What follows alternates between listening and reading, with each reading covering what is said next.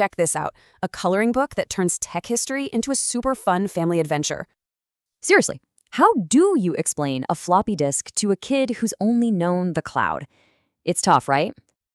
Well, this book is a totally screen free way to connect your memories with their curiosity.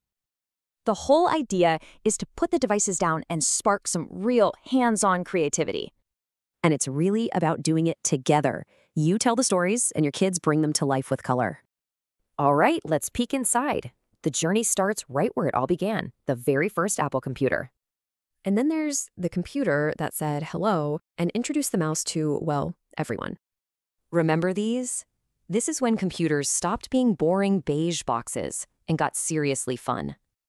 And of course, the little device that put a thousand songs in your pocket, a total game changer.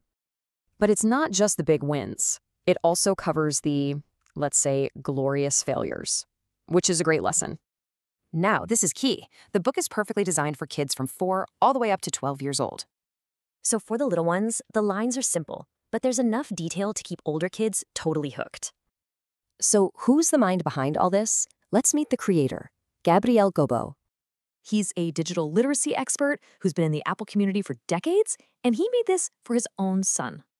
He just wanted a meaningful way to tell the story of technology and bring his family together. And hey, it's more than just coloring. There are word searches, puzzles, and even drawing challenges inside. And the best part? You can get this adventure for your family anywhere because it's on Amazon worldwide.